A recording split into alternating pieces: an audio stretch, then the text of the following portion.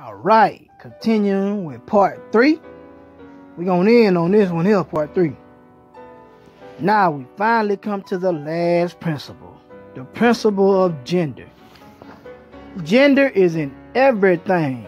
Everything has its masculine and feminine principles. Gender manifests on all planes. Y'all ain't hearing that. Gender manifests on all planes. Everything has its masculine and feminine principles. I don't think y'all understand this. Let me show you something. As we go into the Hermetica by Walter Scott, okay, and this is another book of Enoch, Thoth, Hermes, Trismegistus, um, Tahuti, whatever you want to call them. They one they the same people, just different names at different times.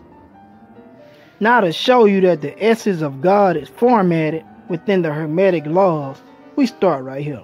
For I deem it impossible that he who is the maker of the universe in all its greatness, the father or mother or master of all things, can be named by a single name, though it be made up of ever so many others.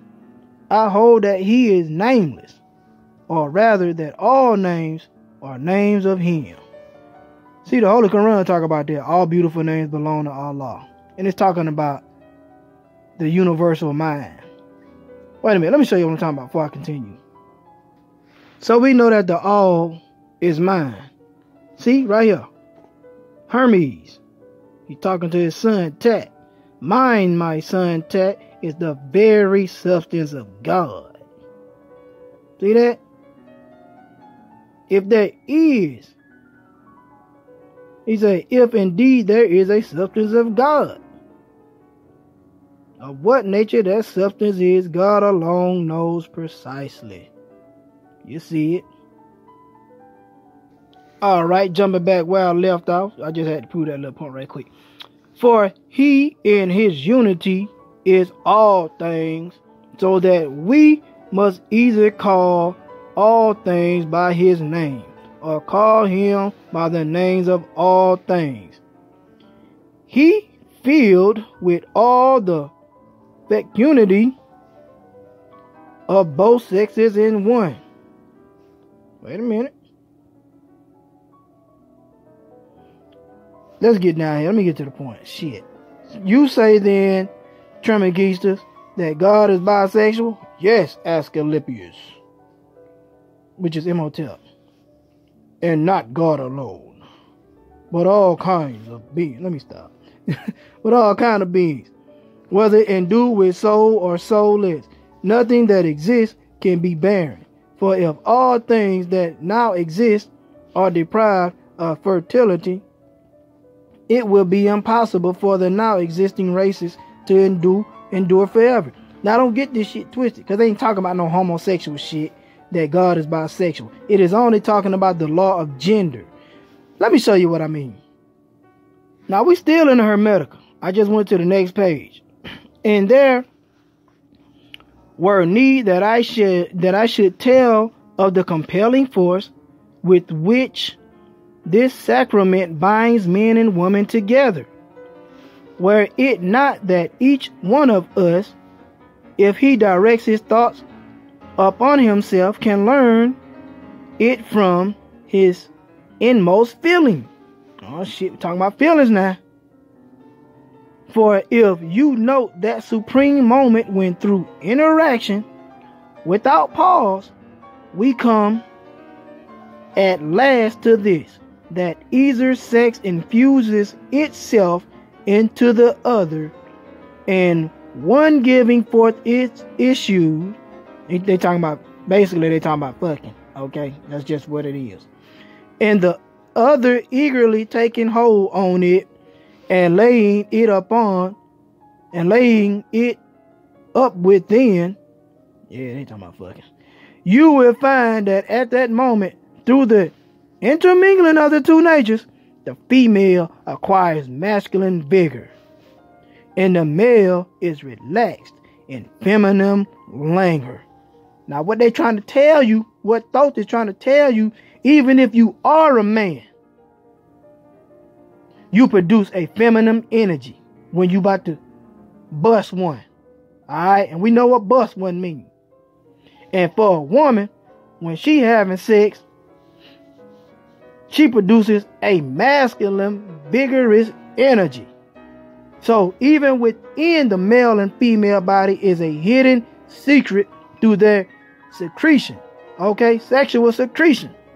So this is just the law of gender. Everything has its masculine and feminine side to it. So even if you are a male and you possess only the masculine, not truly exactly, because there's a feminine energy hidden within you. Because I ain't never in my life heard one dude that I know, and I ain't never experienced shit either, of um uh, about to bust one and goddamn you you get all masculine. Hell no, that shit make a man feminine as hell. So it is with a woman. Women get strong and vigorous than a motherfucker. Start locking their legs around you and shit, scratching all in your back. That's some masculine ass energy. All right. So this is that secret that I was telling you about. And part one that I know y'all ain't gonna be y'all ain't gonna believe this shit. But this is what it is. So really focus on your body when you're going through it and you will see what type of energy you present. So this is just the law of gender. Let me read on. Because this shit interesting. And so this so sacramental act, sweet as it is. You heard that even Thoth got there. He said, sweet as it is. Alright? And a thing that must needs be done is done in secret. Least if it were done openly, the ignorant should mock, and thereby the deity manifest in either sex through the mingling of male and female should be put to the blush, and the more so if the act is exposed to the eyes of impoised man. Woo! See, this is what I'm talking about connecting dots. So when you read books like the Bible, and yes, the only book that you read, and you don't get no true cause and effect, all you got is belief, you ain't gonna get no understanding of this shit. That's why you gotta take other books and puzzle pieces. Sort of like how how when you read the book Falls and Ruins of Empires by Count Volney, it tell you in the book that what the Europeans did was they broke our spirituality in fragments. And they called one portion of our spirituality Christianity, and another portion Islam, another portion Judaism, another portion Buddhism, another portion Voodoo. They just started, well, actually, they started the Islam, Christianity, according to the book, and Judaism. All right, but our spirituality was broken in fragments. So you have to puzzle piece our religions and go into the esoteric teachings of it. The shit that I be giving in order to get your fragmented spirituality back and puzzle piece to his to his full um totality. Now as we continue to finish off with this law of gender, this is what we read. This principle embodies the truth that there is gender manifested in everything, as we just saw in this book, the Hermetica. All right, we just saw that in the man and in the female body, there is masculine and feminine energy. It's just a, in a secret spot. All right, jumping back, the masculine and feminine principles ever at work. This is true not only on of the physical plane, but of the mental and even the spiritual planes. On the physical plane, the principle manifests as sex. We just talked about that shit. On the higher planes, it takes higher forms, but the principle is ever the same. No creation, physical, mental, or spiritual, is possible without this principle. An understanding of its laws will throw light on many a subject that has perplexed the minds of men. The principle of gender works ever in the direction of generation, regeneration, and creation. Everything and every person contains the two elements or principles or, th- or this great principle within it, him or her. Every male thing has the fem- the female element also. We just talked about that shit. Every female contains also the male principle. We just talked about that shit. If you would understand the philosophy of mental and spiritual creation, generation, and regeneration, you must understand the study this hermetic principle. See, we just talking about we just got done talking about uh generations and regeneration through sex. How the male produce this feminine energy and the female produce a masculine energy. So this is the principle of gender. See, gender is in everything. Everything has its masculine and feminine principle. Gender manifests on all planes. This is the form this is the formation of the universal consciousness itself. All right, this is the blueprint of creation. All right, I think y'all get the point. So, the question must be asked. It must be asked. What stopped people from walking with God? See, we know that Enoch walked with God. We know that Elijah walked with God. This is according to the Bible. Now we know Enoch has had to walk with God. Otherwise, he wouldn't have left all these books. And he got more books than the ones that I got. He got tons of books. Okay? A lot of them hid in Germany. A lot of them hid over there in the British Museum, in the Vatican. Okay? He wasn't called a God of wisdom, wisdom for nothing. Tahuti, which is Enoch. So, what caused these beings to stop walking with God? Now, we know, according to what we just read, that this God is the is the Luciferic energy. Because according to what we just read in the book of Enoch, he was taught by Uriel all things. Which means that we all possess the ability to walk with God. Now, we could walk mentally with God because when you think about something, you put your mind in, your thoughts are traveling. Okay? So you are where you put your thoughts at. Because you, at the core of your being, really and truly, you are consciousness. All right? The very essence of who you are is consciousness. We know that at the core of your physical being, you are light. You you know your your light body, which is the the core in your cells, the photons. But the true essence of who you are, you are consciousness. But I'm gonna tell you, it didn't stop. There's still beings that walk with God today that have a fully functional pineal gland and a highly activated kundalini. Let me show you what I mean. But these people are hunted and killed by the CIA because the CIA feel that these people are threats. And this is why they fear the rise of a black messiah based off certain individuals. Let me show you what I mean.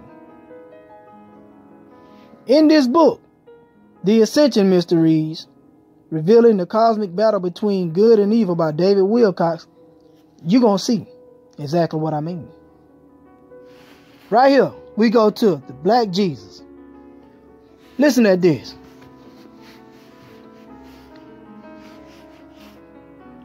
One of the most surprising stories Jacob ever told me concerned a man they called the Black Jesus. He said this was highly classified and was definitely talking out of school to tell me about it at all. Apparently, in the 1960s, a man appeared in Africa who had full ascended abilities.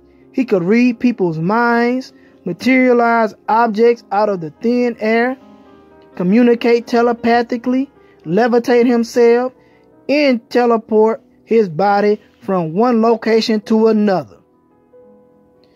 He was a spiritual teacher who emphasized love, peace, service to others, and forgiveness as the common core that unified all the great religions. Now, let me say something before I continue. If you go back to part one, of these videos that I made concerning unmasking the universal laws, I talk about once you activate this Kundalini, these are the abilities that one would that one would uh, manifest and have. Remember, I talked about um, well, I ain't mentioned that materializing objects out of thin air, but I should have mentioned it. But anyway, you got it right here. But I, I mentioned telepathy, levitation, teleportation, and this is a person that walked with God. Okay, Uriel. See, you go in the Bible and what it tell you? You can blaspheme against God and be forgiven. You can blaspheme against the uh the Son and be for, uh or whatever, the Son and be forgiven. But you can't blaspheme against the Holy Ghost, which is the electrical current, which is the Kundalini, and be forgiven because that is actually the Most High and in um manifestation on this plane of existence. All right. Otherwise, the Bible wouldn't say, I mean, the book of Enoch wouldn't say that Uriel taught Enoch all things in creation. This is what it is. You can't even become a god until you raise your Kundalini or your Uriel or your Lucifer, which is the light bringer, which brings light to your pineal gland, which is a miniature universe. It's just dormant, which represents Osiris being slain by his brother in a band, in, in a mummified bandage. Then he awakens when the once the Kundalini um or Amen Ra, which is the hidden light, which is a Kundalini, awakens him.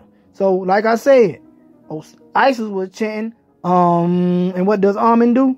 The word Amen stimulates the pineal gland, and she was calling on Amen Ra, which is the hidden sun, which is the Luciferic energy. All right? I still don't think y'all get it. Wait a second. I know y'all remember in this book, right? Let me just bring it back one more time for just in case you, it might have slipped your mind. Okay. Grew I there from a childhood into manhood, being taught by my father the elder mystery. All right. Until in time there grew within the fire of wisdom until it burst into a consuming flame. Again, if you go to part one, I'll break it all the way down what he's talking about concerning the Kundalini, how he was taught all the wisdom okay, through this electrical current, which is intelligence within itself. But continuing on, all right, he was a spiritual teacher. We said that already. The cabal does not want anyone to develop these abilities. This why you ain't seeing people today with those abilities as far as walking with God, aka having a highly activated kundalini that rotates in a microcosmic orbit. This why? Because they search these people and hunt them down and try to kill them. See, the cabal does not want anyone to develop these abilities. And if they find out that someone has them, they will hunt those people down and terminate them with prejudice. The cabal, meaning the Illuminati, all right, made several attempts to assassinate this man. Wait a minute, let me show you what I'm talking about. Let me show you who he is. Let me show you a couple of them. But let me show you the one they talking about. This is who they talking about. Simeon Toko. Simeon Toko, that's who they talking about. Right there. That man. That's the one they hunted down and was trying to kill. They killed him, but his body kept regenerating. They cut him up in pieces. His body regenerated. They ran him over with a tractor. Back and forth, his body regenerated. Simeon Toko, when they had him on a plane and had shot him, his body regenerated. They shot the shit out of him. Some I don't know how the hell they pulled that off in an airplane, but this is what was documented. He stopped the plane in mid-air. The plane didn't move, period. Everybody got scared as hell. And then after Simeon Toko got done saying something, it started back moving again. The ascended master. This is why J. Edgar Hoover them had this big ass um, agenda as far as killing off the rise of a black messiah because of people like Simeon Toko. Not just Simeon Toko. Let me show you another one. Here we have the founder of Muridia is Sheikh Ahmadu Bamba, an eminent Sufi master from Senegal. This is another ascended master. See, he had the ability to materialize and dematerialize. So all you see is one leg and one hand. These are ascending masters. These are the ones they're afraid of. Look at this. The life of Sheikh Ahmadu Bamba is a testimony of his commitment to the revival of authentic Islam. What's authentic Islam?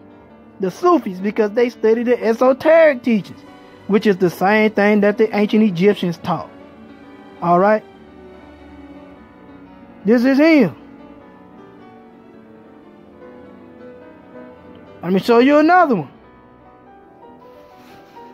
See, here we have Simon Kambangu.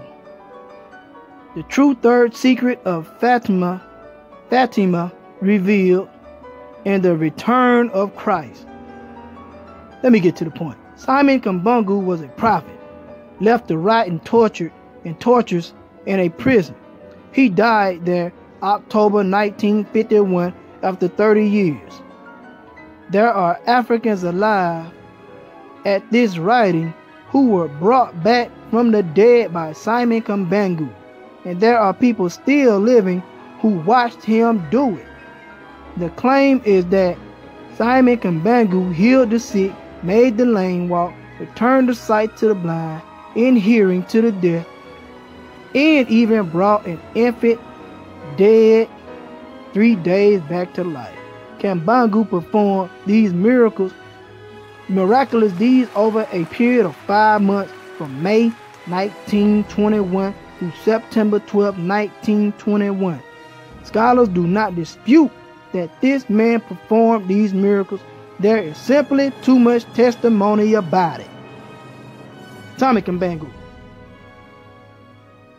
an ascended master. All right, this is why they fear the rise of a black messiah because it is black people that possess this serpentine energy. Okay, and they know that once we go through the Aquarian constellation, what is going to happen.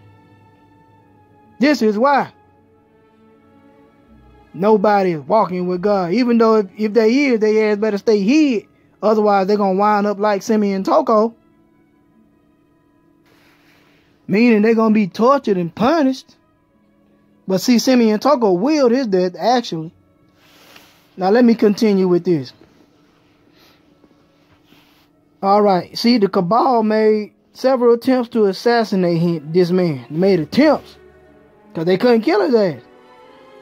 See, this way you get like a Wolverine in the X-Men. You shoot him and shit, his body just keep regenerating. He consistently regenerated his body after each attack, no matter how lethal it seemed to them. Seemed to be. Finally, the man was told that they had given up. He was far too powerful. There was nothing they could do to stop him, and they were going to surrender. They invited him to a major world summit and told him they would reveal him to all humanity. Yeah, fucking right. So he could share his his message. He was brought on board a military transport aircraft. Once airborne, he was shot repeatedly. They talking about Simeon Toko now. The first picture I showed. The up close picture with the man with the face. Wait a minute. I don't think y'all I don't think y'all remember what I'm talking about. Give me a second. That's who they talking about. Simeon Toko. That's him right there. Simeon Toko. So now check this out. After they invited the man to a world summit and told him they would reveal him to all of humanity so he could share his message. Look what these motherfuckers did. Look what they do to him. He was brought on board a military transport aircraft. Once airborne, he was shot repeatedly. His body was divided into many different sections, each of which was stored in a high super, which was stored in a super high-tech energy shield container. Ain't that some shit? Jet aircraft rushed up to the plane and sequence and scrambled to con- and scrambled the containers all over the earth. And this shit, they just throw the man body parts all over the planet. As far apart as possible.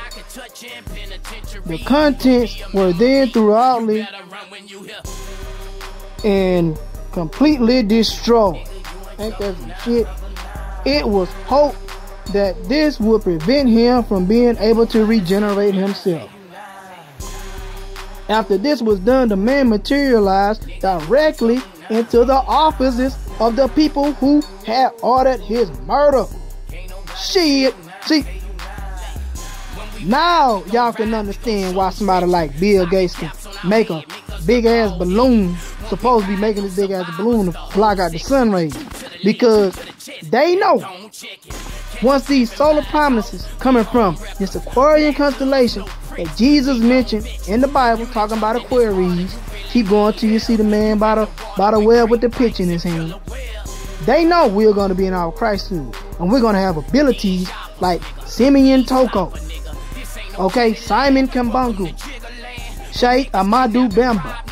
They know we're gonna have these abilities to materialize and dematerialize and do all types of extraordinary shit, materialize objects out of thin air. And guess what? If you can materialize object out of thin air, fuck buying food. That shit gonna crash any fucking way. They know this. This shit is real. And I know this because I actually raised my kundalini. Okay, so I know. Shit. And I did some amazing shit. I ain't do all that though. I did some amazing shit. So I know. Ain't no belief. Belief is you don't know. Okay, anyway. He said this after he um appeared to them in the office. There were no visible signs of damages to his body.